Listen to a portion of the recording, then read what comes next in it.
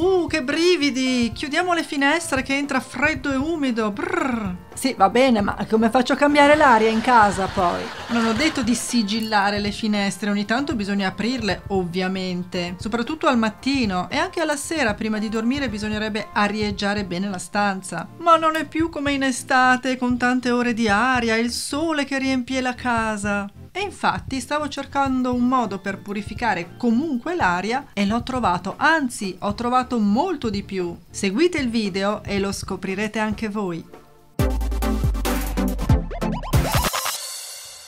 Ciao amici, lo sapevate che alcune piante tenute in casa hanno un potere incredibile? Non solo purificano l'aria, ma catturano le sostanze inquinanti. Sono delle vere e proprie piante cattura veleni. Vi piace l'idea? Allora mettete subito un bel mi piace a questo video. Tanti mi piace, tanti nuovi video. Grazie a queste piante possiamo davvero purificare l'aria di casa o dell'ufficio, dello studio, dove Scusa, lavoriamo. ma E casa mia è pulita. eh, cosa devo purificare? sente. Ma lo sai che in molti casi l'interno della casa o dell'ufficio è più tossico dell'esterno?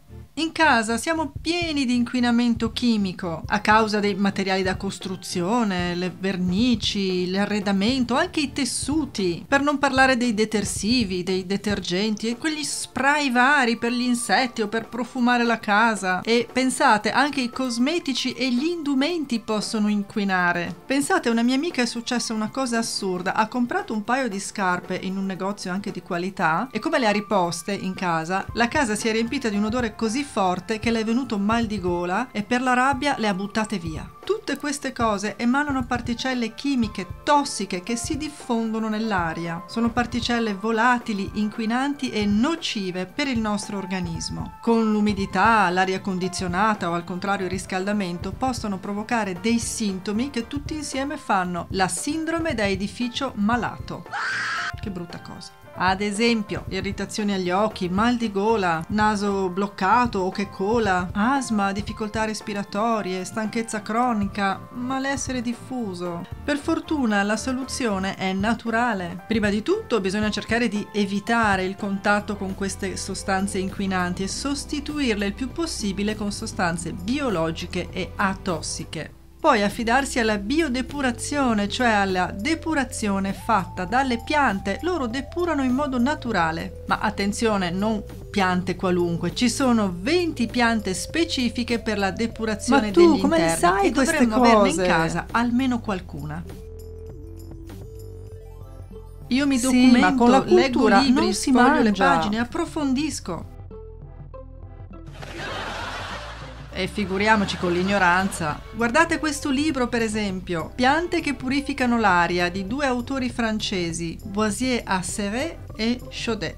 Pubblicato dalla casa editrice Il Punto di Incontro, specializzata in salute naturale, come me, e sponsor di questo video. Il libro introduce 20 piante e per ognuna specifica che tipo di veleno cattura. Per esempio, il filodendro va bene in soggiorno dove possono esserci mobili con formaldeide o intrucciolato, la dracena marginata in un ufficio o nella stanza di un fumatore. Il potos va bene in tutta la casa ma non deve mai mancare nella stanza dove fate bricolage o dove dipingete. Lo spatifillo è perfetto in ufficio o dove si trova molto inquinamento elettromagnetico. E così via, ogni pianta ha una sua specificità e il libro spiega come coltivarle, dove metterle, come farle stare bene e come proteggerle, perché devono rimanere sane a lungo anche loro. Io mi sono documentata e ho messo le piante nei punti strategici in casa e in studio. Sapere che sono lì e fanno bene all'ambiente mi fa stare bene e poi il verde è sempre terapeutico, ci vuole, no?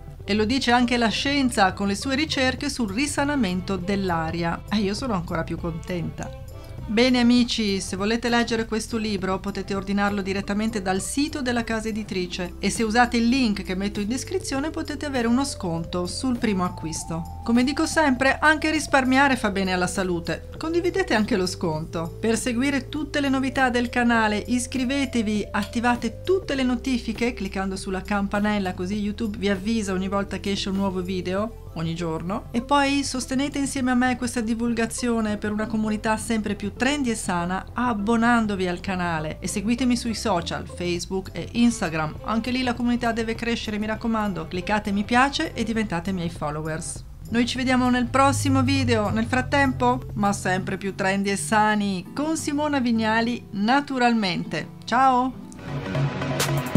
Brr, che brividi! La scienza sul